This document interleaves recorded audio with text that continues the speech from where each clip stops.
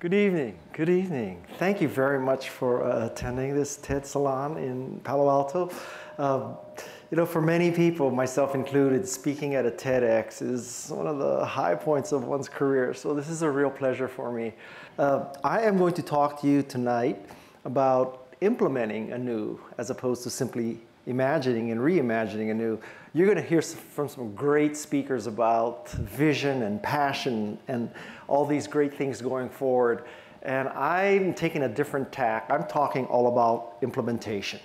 And these are the techniques and wisdoms and knowledge that I gained. I've been in the Valley about 30 years. I've worked for Apple. I've started some software companies. I've been a venture capitalist. Uh, today I work for a company out of Australia. And so I just wanted to give you a different slant. And I hope this is very tactical and practical so that, in the words of Steve Jobs, you can dent the universe and you can make a difference. Okay? Um, I always use a top 10 format. Uh, that's because honestly, I've seen so many tech speakers, and most of them A, suck, and B, go long. Uh, so I like to give people a top 10 so that they know where I am in the speech. Uh, in this format, you know I only have 18 minutes, so that solves one of the problems but uh, I have 10 key points and I want you to know where I am in my presentation, okay? So this is my top 10 lessons, wisdoms about a, uh, how to implement change, how to get to the next curve. So um, the first thing that I want to communicate to you is this, this technique, this strategy. Uh, this is a two by two matrix. The vertical axis measures uniqueness or differentiation. The horizontal axis measures the value, valuableness, you know, the goodness of what you do. And it is a two by two matrix. If any of you have worked with some high-end consulting firms, you know that they'll charge you about $5 million to tell you you need to be in the upper right-hand corner. Um, you're getting that free from TEDx tonight. Uh, I want to just express that, you know, as you think about your products, your services, your not-for-profits, even your own positioning, your career, yourself, use this as a model.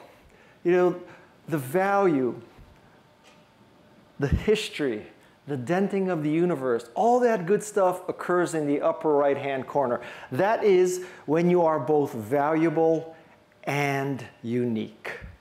I'll go through all four corners. The bottom right corner is where you're valuable but not unique. In that corner, you always have to compete on price. Michael Dell slaps the same operating system on the same hardware, make billions of dollars there but you have to compete on price. In the upper left-hand corner, you are unique. You truly do something no one else does, but it is of no use. In that corner, you are just plain stupid. In the bottom left corner, you do something that's not useful, and there's a lot of other stupid people doing the same stupid thing. That's the worst corner of all. The corner I want you to focus on when you design stuff, services, products, even positioning yourself upper right hand corner. How can you be valuable and unique? Think of the iPod when it first came out. Valuable and unique. It was a way to buy music, a great breadth of music, inexpensively, easily, legally, with a user interface that a mere mortal could use. That was unique and valuable, explaining the success of iPod. So a great mental framework for you. Two by two matrix, upper right hand corner. Number two, so one of my favorite books from a Stanford professor, Carol Dweck. And I think that in order to dent the universe, to reimagine anew, you have to adopt a growth mindset. A growth mindset means that you don't accept things for what they are, including yourself, that you will make yourself better. So it's very obvious. People always talk about you have to improve yourself. You know, you have to overcome your weaknesses. So that's what you always hear. I would make the case that there's also another dangerous mindset, which is when you are good at something, you adopt the mindset of you don't want to take any chances and risk your reputation and your self image by trying something and putting yourself at risk. You know, Carol Dweck has seriously influenced my child raising patterns and, and practices because one of the key tenets of this book is, you know, when you have children and they're good at something, you should not say, well, you're really brilliant, you're really smart, you're really great at this. Instead of complimenting them about their smartness or their natural talent, you should compliment them about how hard they work.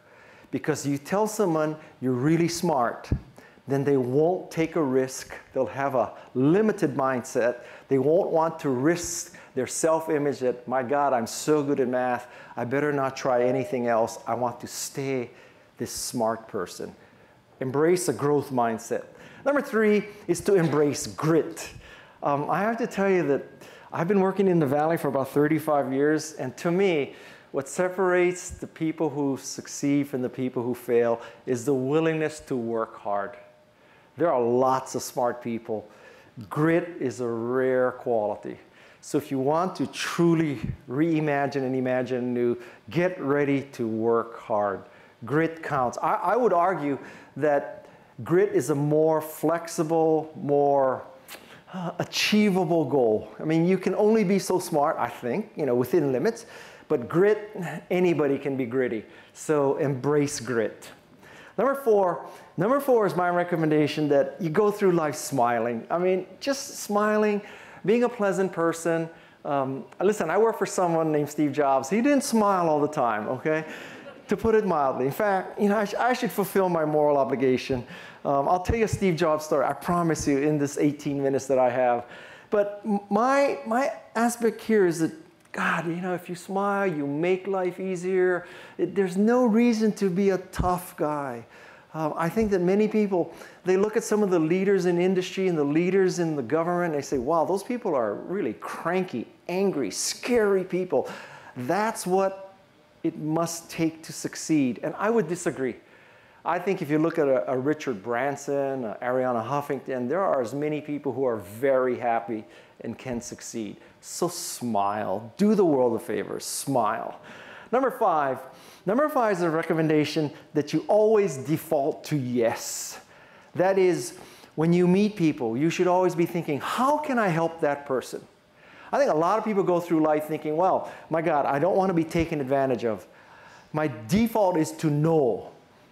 And if you somehow bludgeon me into agreeing to yes, hallelujah. But generally speaking, the answer is no until you force me to change to yes.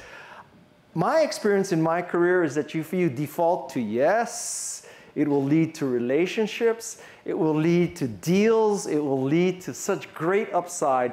The upside of defaulting to yes far surpasses the downside of possibly being used. Default to yes. Number six, number six is to adopt the philosophy that the rising tide floats all boats. Now, I think that many, many people, many institutions have this attitude that it is a zero-sum game.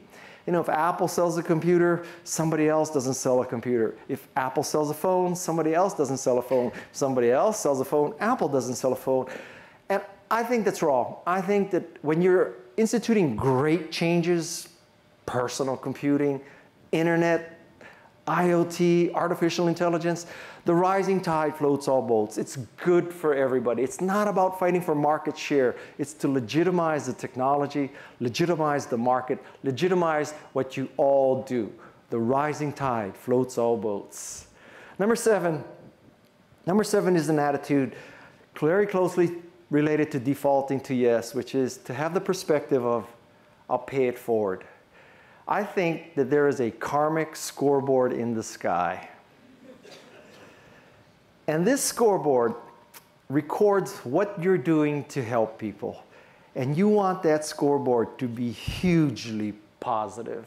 And the way you do that is you pay it forward without the expectation of any reward. You simply do it for the intrinsic reward of paying it forward. And I think you will be surprised that all the goodness will flow back to you. That has been my experience. A, very tactical example might be uh, when I was at Apple, you know, we didn't exactly have the most press friendly relationship. And I was one of the few people at Apple who would just meet with anybody from the press. You know, it could be the Milpitas Gazette. I could not care less. It didn't have to be Business Week, the Wall Street Journal, New York Times, or Washington Post. I would meet with anybody. I would help them.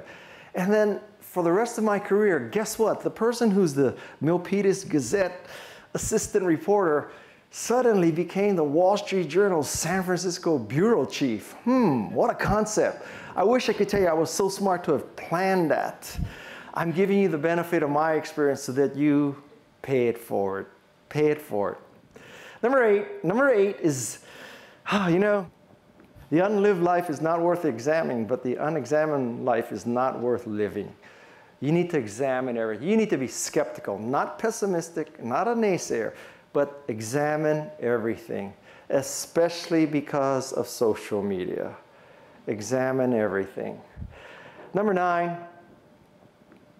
Number nine. so, Windows Remote. I swear to God, I swear to God, I pressed it three times, okay? So, number nine. I hope you're covering for me. Number nine is a very pragmatic approach to honesty. And I suggest that if you want to change the world, you never lie and you seldom shade the truth. At a very pragmatic level, it's because it's much easier to always tell the truth. Because as soon as you start lying, you have to keep track of how you lied so you can consistently lie. But if you tell the truth, usually there's only one truth. So it's much easier to remember the one truth than every lie that you've told. And there are going to be times where, you know, there's a, there's a line between lying and exaggerating and being shall I say, sly, shading the truth. So this is where the Steve Jobs story comes in. So one day, I'm in my cubicle, and Steve Jobs shows up with someone I'd never met in my life. And he asked me, Guy, what do you think of this company called Knoware, K-N-O-W-A-R-E? It was an educational software company, knowledge software truncated to Knoware. I said, well, Steve, I got to tell you, Steve, it's kind of a mediocre company with a mediocre product, doesn't take real advantage of the Macintosh graphics, WYSIWYG display, color. Two plus two equals four, simple arithmetic, Steve, not a strategic product, not a strategic company for us. The next thing Steve says is, I want you to meet the CEO of Knoware. now, the lesson that I learned from that story is tell the truth. Because if I had lied or even shaded the truth, let me tell you something, Steve Jobs probably knew that that product sucked. And if I had said, Steve, it's insanely great, we ought to do something, it's a great product, we really love this thing, I would have flunked the Steve Jobs IQ test. And you can only flunk that test once. So that's the day I learned, you know, never lie, never shade the truth, just tell the truth. Number 10, Number 10 is something that's very counterintuitive. And I'll give you two little tips because wow, I'm running fast. I have four minutes and 46 seconds. I didn't even know I could do this so fast. So, another author that I truly admire is an author named Robert Cialdini. Now, when an author, I've written 14 books, tells you to buy another author's book, there is no higher form of praise. Okay? So I'm telling you to buy two books Carol Dweck and Bob Cialdini. He has a book called Influence. It's the social psychology of influencing people. And so power tip number one is, well, let's say that I, I, I default to yes, I do something for you, I pay it forward. And so you thank me. Now here's the question. What is the optimal response when you thank me? It is not simply you're welcome. It is, I know you would do the same for me. I'm telling her she's a good person. I know you will do the same for me. You know what else I'm telling her? I know you will do the same for me. That's the optimal response. Now, Cialdini also has this message, which is you may think, you may think that when somebody does owe you, you should let them off the hook to say to her, you know, I know you would do the same for me, but don't worry about it, forget about it. That's not optimal. What you should, in fact, do is you should tell her how she can pay you back. Because as a defaulter to yes, as someone who believes in the karmic scoreboard, I'm willing to do more for you, but I am not clairvoyant. I have no idea what else I can do for you. You, being a good person, you're hesitant to tell me what you want because you know you already owe me. So if I could just tell you, this is how you can pay me back, we can clear the decks and she can ask me to do more stuff and we can have a stronger relationship. So contrary to what you might think, you should enable people to pay you back. And now in my last two minutes and 41 seconds, I'm gonna tell you one last story. So my wife and I were living in San Francisco on Union Street, right near the Presidio. So a very nice part of San Francisco. And one day I'm in front of our house and I'm clipping the bougainvilleas, okay? And this older white woman comes up to me and says, do you do lawns too? and I said to her, you know, I'm Japanese, so you assume I'm the yard man, right? She goes, no, no, you're just doing a great job cutting your bougainvilleas. I wanted to know if you do yards. So that's kind of a good story in and of itself about racial profiling and stuff like that. But wait, it gets better. Two weeks later, my father comes, visits me from Hawaii, comes to San Francisco. I'm third generation Japanese American, so he's second. You know, he, he served in the US Army, the whole thing. And I tell him this story. And I fully expect him to go off and just say, my God, you know, this woman, just because you're Japanese, she thought you were a yard man. She didn't know you went to Stanford, you worked for Apple, you bought this house, right? I fully expected that. And listen, to my utter amazement, you know what he tells me? He says, Guy, son, in this neighborhood, a Japanese man cutting the hedge logically, mathematically, probability, you were the yard man. so get over it. don't look for problems. Don't look for prejudice. Don't complicate everything. You can't go through life if you're always looking for a problem. And that's the message I want to leave with you. If you want to reimagine or imagine anew you can't go through life angry and negative and assuming people have the worst intentions.